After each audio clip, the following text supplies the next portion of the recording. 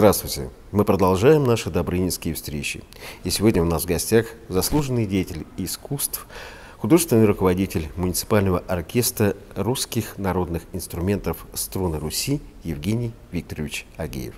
Евгений Ильич, здравствуйте. Очень приятно видеть вас в наших стенах. Ну, тем более эти стены для вас уже давно родные. А, расскажите, пожалуйста, как начинался ваш творческий путь и ваша жизнь именно во Дворце культуры имени Добрынина? Ну, я во Дворце Добрынина начал работать после службы в армии. Это был 66 год. А как я сюда попал, мой брат играл в оркестре баянистов здесь, во дворце – в то время здесь был большой оркестр баянистов, и он мне написал, что требуется баянистов, танцевальный коллектив на работу.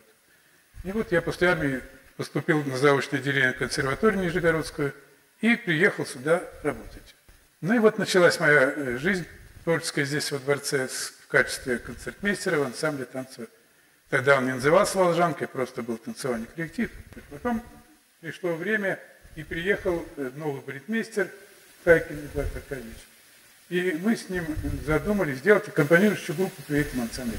Потом пришла, так сказать, хороший э, хормейстер, и создали еще детский коллектив ансамбль песни и танца. «Счастливое детство». Хор был большой, свальная группа, и мы оркестром уже в более расширенном составе аккомпанировали программу и эту.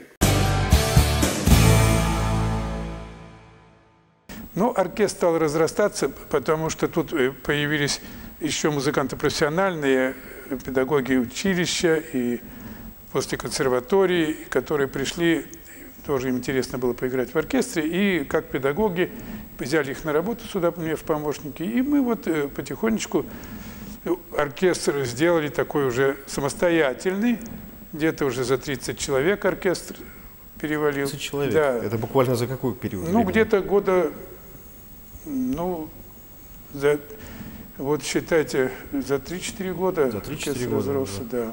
Вот из такого небольшого вырос уже в оркестр. И он стал, мы стали делать самостоятельные программы оркестром.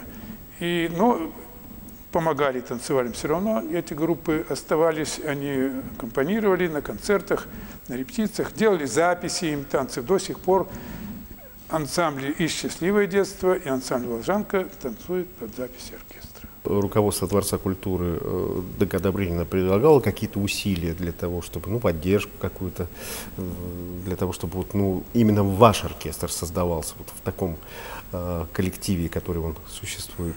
Ну, видите, в чем дело.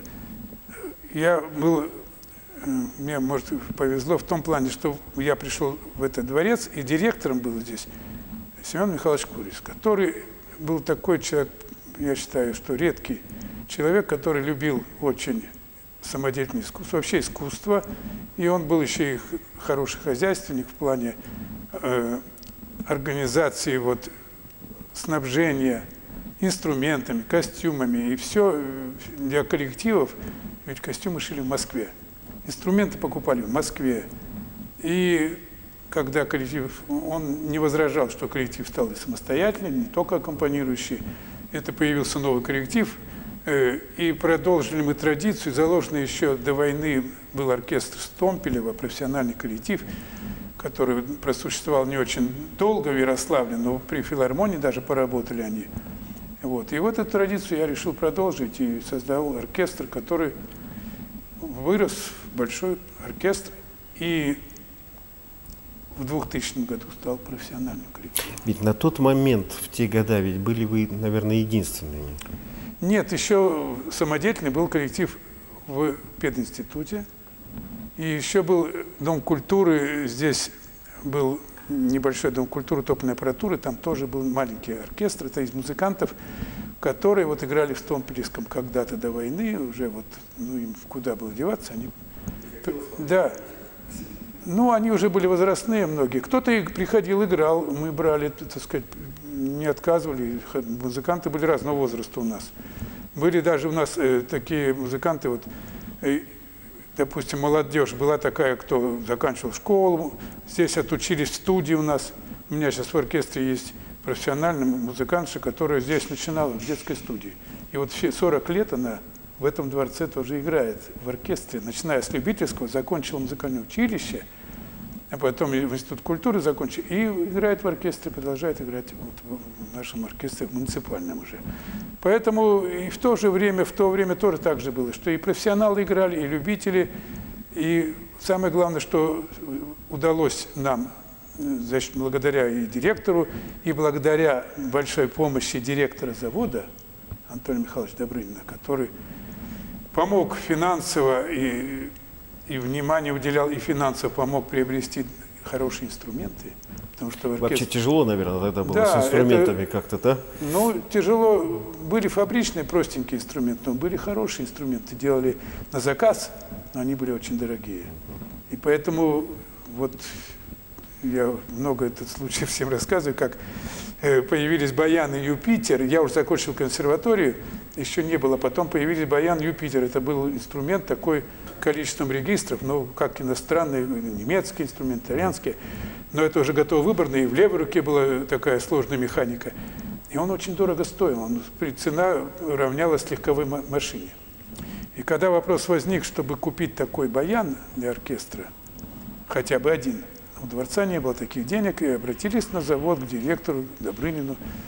А он немножечко играл на баяне, и поэтому ну, заинтересовался. Говорит, а сколько стоит? И когда сказали цену, он говорит, ну это же машина стоит столько, это же очень дорого, а вдруг вот, не дай бог, украдут или что-то случится, ведь это дорогой инструмент.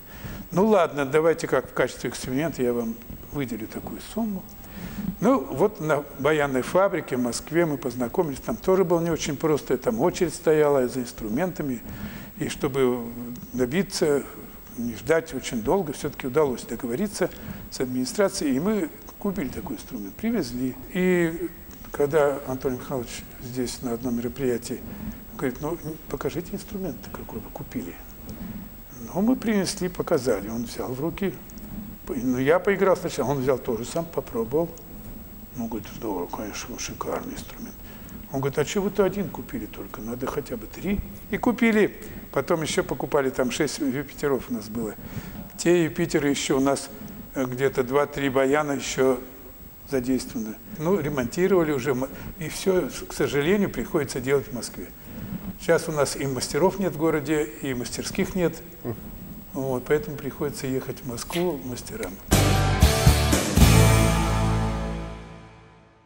Анатолий Михайлович, каким образом вам показался как человек, как, ну вот вы рассказали уже, да, действительно, Семен Михайлович хозяйственник, Анатолий Михайлович, как э, сейчас по новым э, словом это меценат, но все-таки наверняка это был человек творческий, как вы уже сказали, что брал в ну, баян. Уже начнем с того, что раз он немножечко играл на баяне, сам любитель был, очень любил и слушать, и играть.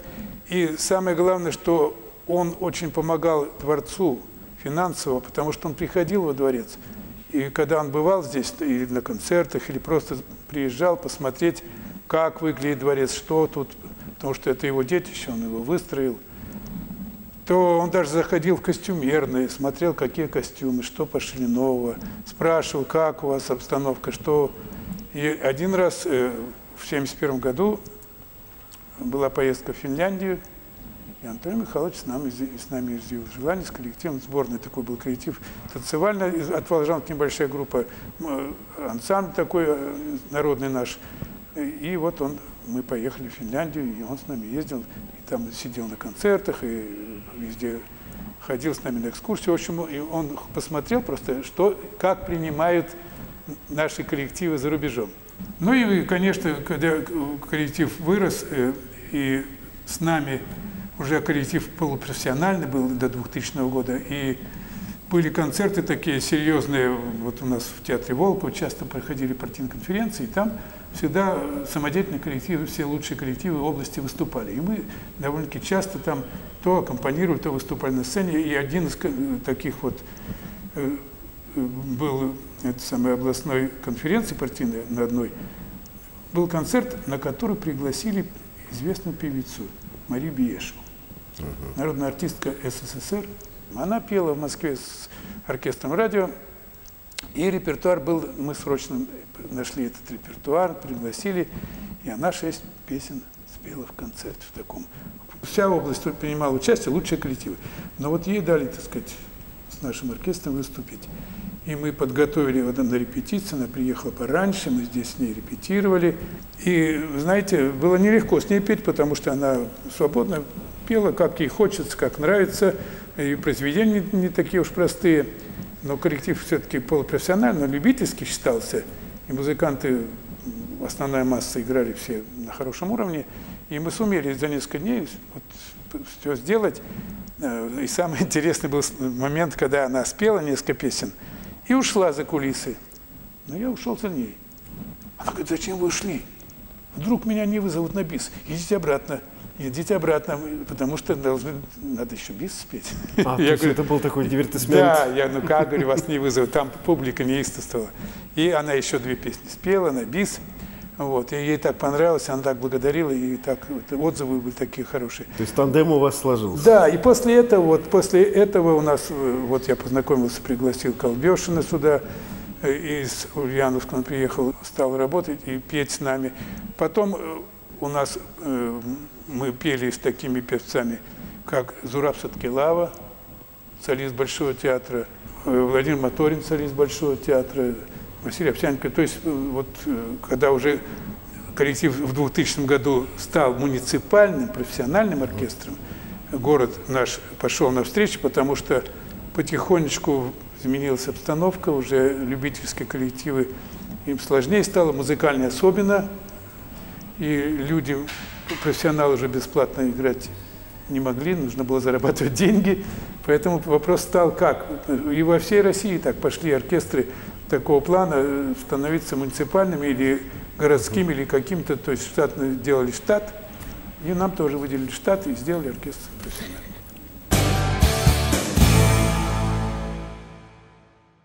А еще вот какие-то концерты, которые вам запомнились в те года, которые вот вы, когда вот выезжали из Дворца культуры Добрынина, будучи здесь, были какие-то вот знаковые, которые наиболее запомнили? Ну вот когда еще до, до того, как стал муниципальным, коллектив довольно-таки много поездил. Даже зарубежные поездки были. Мы были в Португалии, в Чехии, мы были в Германии, во Франции, в Америке небольшой группой летали в Америку, да в общем-то, довольно-таки э, много и в Москве выступали. творческая на жизнь, да, можно сказать, для коллектива. Ну... Выступали в Калуге на смотре всероссийском конкурсе оркестров любительских. Но это уже как раз накануне уже как перехода к профессионализму. Э, был в Калуге, там сидел э, главный дирижер, возглавлял жюри оркестра Осиповых Николай Николаевич Калинин. И уже тогда вопрос вставал, что ну, уровень приезжали из Петрозаводска, оркестр тоже, там консерваторцы играли, все, но считался любительский. Но уже вопрос стал, что пора сделать профессиональный, он ходатайствовал Калинин перед муниципалитетом.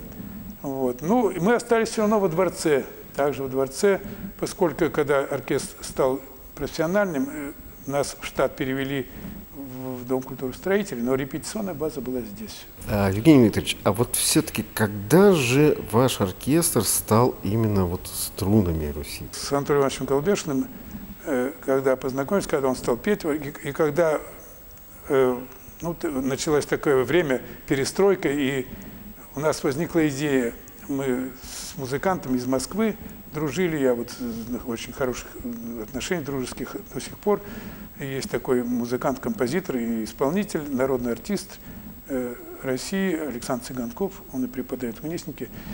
вот и мы, он дамрист, мы с ним познакомились, а он очень много, у него было, ну, он знал много музыкантов русских, и не, не, не только русских, а тех, кто играл на русских инструментах за рубежом. В то время уже были оркестры, которые и в Швеции, и в Америке ассоциация Дом рыбалалайки, играешь на русский инструмент, в Японии, во Франции, в Дании. И мы решили сделать фестиваль. Такой вот, создать фестиваль, чтобы всех музыкантов сюда пригласить. Вот Цыганков помог связаться, и вот первый фестиваль в 93 91 году состоялся, а второй в 93 году. На теплоходе от Москвы до Ярославля, от Ярославля до Москвы на теплоходе приехали музыканты из Америки, из Японии, небольшие э, составами, но приехали любительские. И мы с ними вместе делали концерты. А в 93-м уже был расширенный состав, уже больше музыкантов. Открывали в Москве этот фестиваль. Вот. И уже оркестр Осипов даже участвовал с нами тут, подключился. И, ну и пришла мысль, как назвать оркестр. Но в то время э, «Струны России» это был такой фестиваль, а потом был период, когда говорили, что название России не использовать. И мы переделали, оркестр назвали «Струны Руси». Ну, вот он стал, название. Да, «Струны Руси» так оркестр, и до сих пор он называется так, «Струны Руси». А вот нет ли у вас э, таких планов, например, ну, я понимаю, что вы сейчас отдельно, как существуете, как муниципальный оркестр, ну, у нас же Волжанка и счастливое детство до сих пор здесь. Э, совместных-то планов-то как-то ну, еще мы помогаем, еще? все время обращаются, мы помогаем, делаем записи, новые фонограммы, они под фонограммой До работают. сих пор сотрудничаете, да, понимаю, да, да, да. Ведь еще здесь э, мы не только концертный оркестр, а мы еще проводим фестивали. Вот у нас есть фестиваль с оркестром «Струн Руси» поют и играют дети. Это дети с города Ярославля и с области даже приглашаем, играющие на русских инструментах, поющие. Они выступают, это уже мы провели больше 10 фестивалей таких детских. И раз в два года проводим фестиваль «Струны России», продолжаем этот фестиваль. Уже 14-й фестиваль прошел в прошлом году. И на будущий год 15-й должен быть. Вот все время это в этом здании заключительные концерты проходят. Съезжаются оркестры с разных городов. У нас тут столько перебывало оркестров со всей России. Поэтому вот такая еще деятельность. Ну и помогаем дворцу, вот я говорю, что помогаем, и в концертах участвуем, когда надо, и пишем, записи делаем вот, на танцевальных коллективах. Все-таки вот так вот немножко подытоживая нашу с вами беседу, что для вас стены Дворца культуры имени Добрынина? Основная моя жизнь вся здесь прошла, 50 лет. Я 54 года работаю во дворце, в этом здании. Поэтому для меня очень важно, это дворец, что э, меняются люди, меняется руководство, но как-то с уважением относится и город, и дворец культуры. Я добавлю, что все-таки я благодарен, что жизнь меня свела с такими людьми, как Семен Михайлович Курис, потому что многому научился у него э, в плане, может, э, как руководитель он был, у него было чему поучиться и хозяйственных вопросах, и вот он познакомил, где инструменты, все. После этого мне уже приходилось самому этим заниматься. Вот благодаря ему очень много он, конечно, сделал. Вот. А Добрынина, конечно, вспоминаю, потому что он тоже много сделал для Дворца культуры и для всех коллективов, я считаю. Это был человек, который редко, чтобы директор завода вникал в работу коллективов. Творческих. Да, творческих. А он вникал, он и приходил, и смотрел, и слушал, и был на концертах.